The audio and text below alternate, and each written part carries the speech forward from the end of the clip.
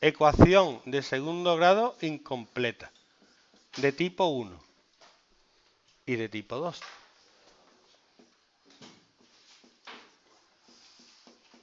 En esta falta el número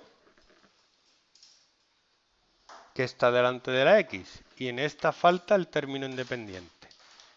Estas son muy fáciles de resolver. ¿Por qué? Porque se pueden tratar como una ecuación de primer grado.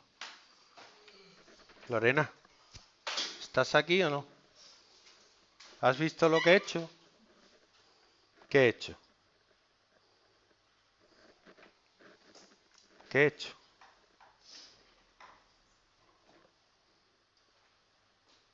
¿No sabes lo que he hecho para pasar de aquí a aquí? Eso es. Y ahora viene el punto mágico. Tengo que hacer la raíz en los dos miembros. ¿Por qué? Porque puedo. Porque es una ecuación y puedo hacer lo mismo en los dos miembros. Raíz de x cuadrado, ¿cuánto es? x. ¿Y raíz de 4?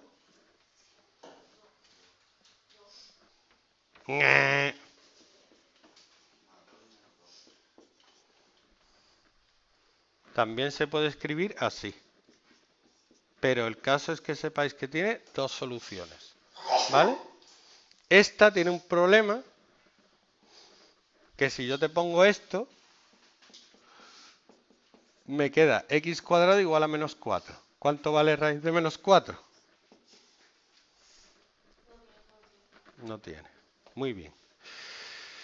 Y en esta lo que hay que hacer es sacar factor común. ¿Cuál es el factor común? Ya está el spoiler. Es un spoiler. Puedo sacar una x de aquí y otra de aquí. Y ahora, para que esto sea 0, o x tiene que ser 0, si x es 0 me queda 0 por menos 3, 0 sería una solución y la otra sería x igual a 3. Y ya está.